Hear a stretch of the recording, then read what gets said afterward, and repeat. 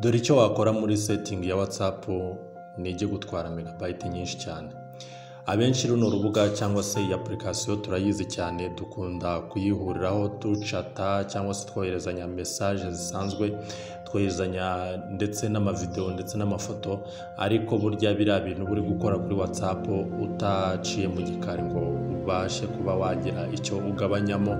Ishobora kugutwara megabayiti nyinshi cyane ugahora ufite ikibazo cy'uko ukoresha amafaranga menshi cyane cyangwa se ugura megabayiti nyinshi. Rero ndahangaha kugira ngo nkufashe cyangwa se nkwereke uburyo bikorwamo n'uburyo ushobora kurinda megabayiti nyinshi kuba zizakoreshwa ushobora kuba wenda ukoresha watsapu yonyine ntujye ukoresha kuri ruriya rubuga rwacu duhuriraho rwa yutubi tureberaho amavidewo ndetse n'ibindi bijyanye n'inyigisho tuba dushaka kwigiraho. Ariko burya si cyo cya mbere gusa murabizi ko nyine yutubi ikunda gutwara megabayiti nyinshi cyane bitewe n'amavidewo aba ariho cyangwa se ubumenyi uba ushaka gukuraho. Ariko bitewe na watsapu nshaka kukubwira ko ishobora kugutwara megabayiti nyinshi cyane ni uburyo uba utayisetinzemo cyangwa se uburyo uba utafunguye cyangwa se ngo utange urubuga rw'uko watsapu yawe idashobora gutwara megabayiti nyinshi. Ujya wibaza uti se iyo ndi gukoresha megabayiti nyinshi cyane kuri watsapu nkajya kubona nkajya kubona intwaye megabayiti nyinshi bitewe n'uko ndimo kohereza mesaje cyangwa se kohereza amafoto ndetse n'ibindi. Ugasanga waguze megabayiti wenda tuvuge urugero jigabayiti imwe imaze nk'iminsi ibiri cyangwa itatu. Kandi yakamaze ukwezi cyangwa se iminsi makumyabiri n'ibiri biterwa n'uburyo waciye mu gikari cyangwa se uburyo wayisetinzemo. Nibwo buryo rero ugifungura watsapu cyangwa se widawunilodinze cyangwa se uyishyize muri telefone ibuka gukanda setingi kugira ngo nyine uyishyire ku murongo. Kuko igihe cyose icyo ari cyo cyose uzasanga watsapu igutwara amafaranga menshi kandi bitakagombye kuba byiza. Benshi turabizi ko tuba dufite ubushobozi bukeya cyangwa se benshi bakaba bahagarika kuba basubira ku rubuga rwa watsapu bitewe n'uko rubatwara megabayiti nyinshi. Ugasanga abantu rero bafite ibibazo byihariye bya watsapu y'uko ibatwara megabayiti nyinshi ugasanga umuntu ahorana icyo kibazo. Ushobora kuza rero muri iyi apurikasiyo yacu iyi ngiyi isanzwe ushobora kuba ufite jibi watsapu ariko jibi watsapu na byo tuzabibabwiraho tuzayibabwiraho diteyirizi zayo kugira ngo uzabimenye uko bikorwa. Uzaza hano ushobora kuba ufite watsapu isanzwe cyangwa se wa bizinesi watsapu bizinesi iyi ngiyi niyo nkunda gukoresha bitewe n'uko mba ni kuri bizinesi ya yutube iyi ituma ibihangano byanjye nyine bitera imbere bitewe n'uko isetinze ukwayo. Hari uburyo uyisetingamo ubundi ikajya ikwamamariza hirya no hino utiriwe ubyikorera ku buryo bunoze kandi bwiza cyane. Iyi ni apurikasiyo nziza cyane kandi ikoreshwa n'abantu benshi. Hari abayikunda bitewe n'uko hari ibyo ibakorera byinshi kuruta izindi zose. Uzaza muri iyi apurikasiyo rero nk'uko twari tubivuze uzemo nk'ibisanzwe winjire hariya ku tudomo dutatu hejuru. eh, ku kantu kameze nk'indorerwamo hirya mu nguni ukandeho nurangiza gukandaho bazakuzanira agapaje kameze gutya kagufi nurangiza kukareba uzaza hano hepfo handitse settings nurangiza gukanda kuri settings bazakujyana ahantu umanuke gatoya kuri iyi paje eh, handitse storage and data. Storage and data uzaza uhakandeho. Uzaza ubone agapaje kameze gutya kanditseho amagambo manage storage network usage use less data for calls media auto download voice messages are always automatically downloaded. When using mobile data when connected on wifi cyangwa se wifi when roaming media upload quality choose the quality of media files to be sent. Photo upload quality. Ni ukuvuga ngo hano ku managinga storage ni uburyo uza eh, ukareba uburyo eh, megabyte wakoresheje wakoresheje uwo munsi cyangwa se eh, n'ikindi gihe. Hano bakakubwira ko ufite free megabyte nyine ugomba gukoresha. Ah, kuri whatsapp media ndetse na apps and other items. Ndetse eh, no hasi ukagerayo haranditse ngo eh, iriya mibare nyine ibanza. Eh, charts not displayed because they are taking up a small amount of storage. Ngira ngo ibi ngibi nyine ni ibisanzwe. Iyo wabonye ko hari megabyte wamaze gukoresha eh, izi ni nka statisitike z'uburyo eh, cyangwa se properties zi- z'uburyo wakoresheje megabyte. Ah, network usage. Network usage ni ukuvuga ngo hano iyo uje ukakanda uhita ubona uko wagiye ukoresha megabyte uburyo wazaciye ndetse n'uburyo wazohereje. Hano kantu ka mbere ni akagaragaza uburyo eh, whatsapp iba igutwara megabyte. Ndetse n'uburyo waguze eh, megabyte. Hano ni ukuvuga ngo hano kuri eh, ni aho ugurira ni agapaje kakwereka ko ni uruhande rukwereka ko waguze megabyte uko ingana. Ishobora kuba ari gigabyte cyangwa se eh, ingano yayo. Hano rero aka gafureshi kazamuka ni uburyo wagiye ukoresha eh, whatsapp waba uri kohereza waba uri guhamagara waba uri kohereza ubutumwa busanzwe ndetse na status ushobora kuba wabisanga hano nk'urugero hano eh, nakoresheje megabyte mirongo icyenda na zirindwi n'ibice icyenda.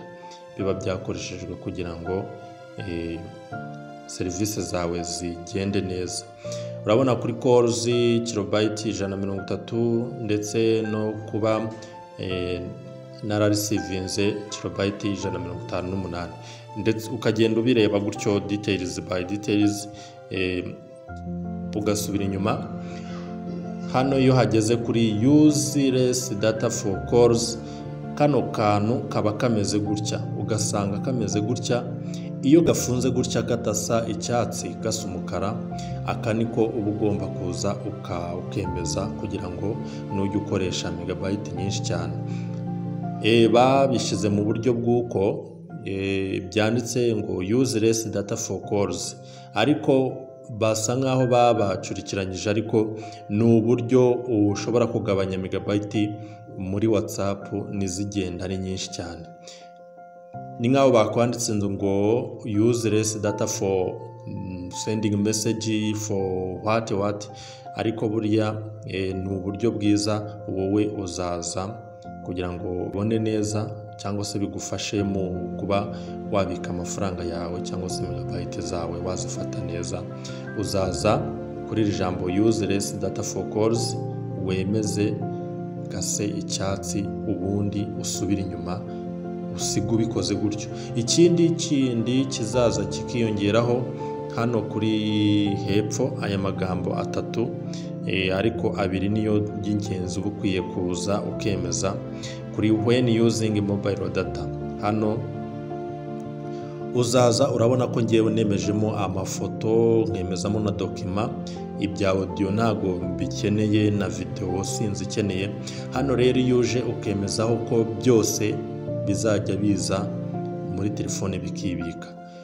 Bizajya birya megabayiti nyinshi cyane when using mobile data ni ukuvuga ngo mu gihe uzaba uri gukoresha data yaba ari mu kwakira amafoto bohereje mu magurupe ndetse no kuri kuri kontakiti yawe ya watsapu ibyo byose nibiza bakabikohereza bizahita byidawunilodinga bijye muri garari yawe. Kandi icyo gihe byidawunilodinga bizagutwara megabayiti nyinshi kandi murabizi ko nyine biba bifite sayizi ndende. Ikindi nuza ukemeza kuri odiyo odiyo murabizi ko itwara kilobayiti nyinshi cyane cyangwa se megabayiti hari n'iyo usanga imaze nk'isaha yose cyangwa se ari indirimbo ikagutwara megabayiti nyinshi. Iyo uje ukemeza kuri videozi videozi amavidewo yose bakohereje azajya yidawunilodinga utiriwe uyakoraho. Iyo wemeje rero buno buryo bwo kuri videwo na byo bishobora kugutwara megabayiti nyinshi cyane utabyiteguye ugahora ukoresha cyangwa se ugahora ugura megabayiti nyinshi. Ikindi kuri dokima ushobora kuza ukemeza kuri dokima dokima bakohereje zikaza zigahita zidawunilodinga ukazanga zibitse muri fonix cyangwa se mu bundi bubiko. Rero ngewe icyo nagushishikariza ni uko uba ukwiye kwemeza wenda urugero kwemeza kuri dokima kuko dokima nimba bayitwohereje iba irimo ubumenyi bwinshi cyane cyangwa se n'icyo ivuze. Ushobora kuba ukunda amafoto ko iyo bayakohereje amafoto nyine urayakira nta kibazo. Ariko ibintu bijyanye na odiyo nimba ubishaka wabikora ariko ujya umenya ngo nimba wemeje hano mu buryo bwose bushoboka mu gihe uri gukoresha mobayiro data.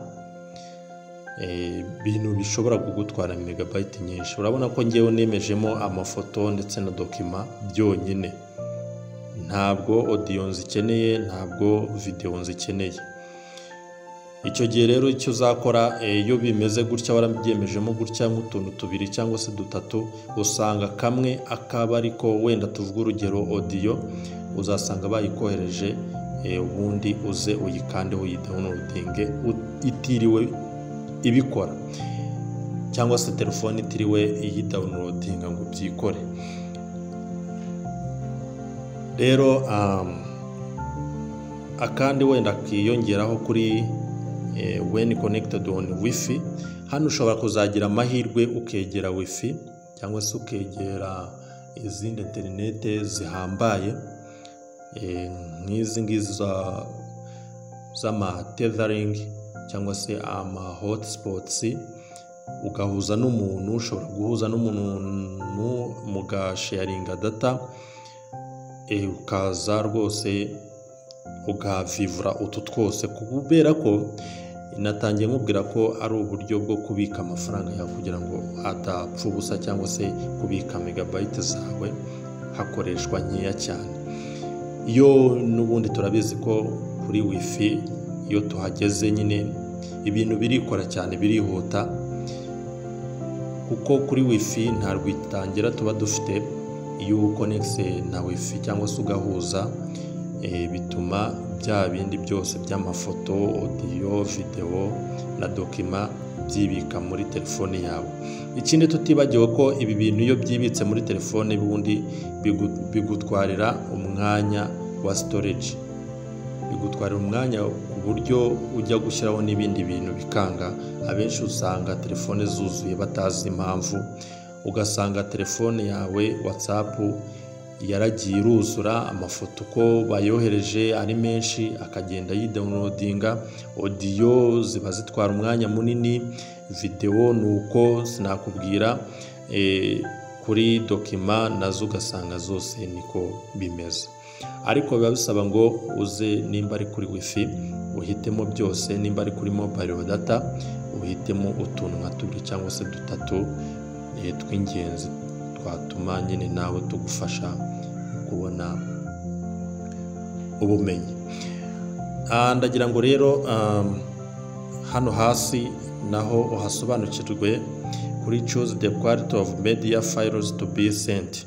Ni ukuvuga ngo hano ni bwa buryo ushobora gukoresha iyo ugiye kohereza amafoto uraza ukemeza hano ukareba amagambo arimo biba biri automatically kuba bi- biri connected. Nimba udawunodinze whatsapp ugiye ho nanone kuba wayikoresha usanga kano kantu kari kuri auto recommended ushobora kuba ushaka amafoto meza asa neza eh, bitewe n'uwayakohereje ahubwo ukaza wenda ukihitiramo iri best quality.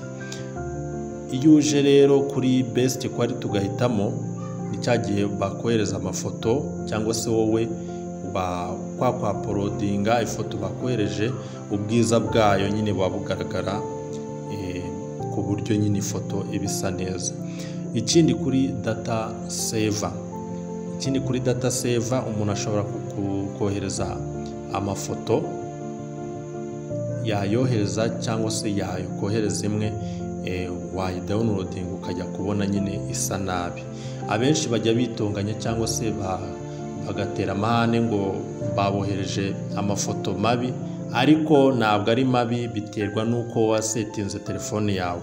Ushobora kuza ugahitamo kuri best quality ifoto yawe bakayikohereza neza rwose isa neza. Ushobora kuza waremeje data saver wakwemeza data saver ugasanga nyine ni bwa buryo uba wasevinze nyine wa- wabitse megabayiti nyinshi uyu uzikoresha ari nkeya kugira ngo nyine zidatakara cyane. Eh, iyo uje rero ukemeza kuri data saver eh, ubu utanze eh, umupaka wo kugira ngo nyine iyo foto izaze itwaye megabayiti nkeya. Ariko ububi bwo guhitamo data saver ni hahandi uzasanga nyine ifoto itagaragara neza ugatungana na nyiri kuyohereza ko yakohereje ibintu bitagaragara. Niyo mpamvu mba ngira ngo nkugezeho utuntu n'utundi gatanu kuri gatanu ndetse na tekinoloji ndetse eh, ukamenya byinshi kuri NC3 TV Ah, ku bijyanye na proxy settings proxy settings wowe uzaza uko imeze gutyo uzayireka gutyo kuko ushobora kuba eh, wayikandaho. IP address yawe ikagaragara eh, kuri proxy provider. Iyi ngiyi uzayireka nimba ushaka kuyemeza uzaza uyemeze. Ariko ibi ngibi ntabwo wirwa ubishyira ubyemeza kuko n'ubundi bahita bakubaza ko ugomba gusetinga proxy. Proxy nta kindi bivuze wowe uzaza uyihorere gutya. Bigume gutya nta kibazo. Ngira ngo ni ibyo ngibyo nagira ngo mbagezeho ni ibyo nagira ngo mbagezeho kuko n'ubundi isaha ku isaha tuba dukoresha whatsapp ni apurikasiyo ikunzwe cyane eh, ni apurikasiyo itihishe cyane nk'uko dukoresha facebook. Ngira ngo mu bantu ba- bakunda cyane imbuga nkoranyambaga usanga whatsapp youtube ari byo bintu usanga nyine bikunzwe cyane. Naho twita eh, twita na facebook usanga ari ibintu nyine abantu bakunda kugeraho ari bakeya. Ikindi kuri kuri instagram usanga iri kuri muri groupe cyangwa se mu itsinda rya whatsapp ndetse na youtube ni ibintu duhuriraho cyane kugira ngo tuyikureho ubumenyi byihuse Ah, murakoze rero kudukurikira gatanu kuri gatanu nagira ngo eh, wowe uri mushya kuri channel utarakanda subscribe eh, uyu ni wo mwanya wo kuyikanda kuko hagiwe ko nyine eh, tuzakomeza tubana inshuro ku yindi Ah, mukomeze kugira ibihe byiza.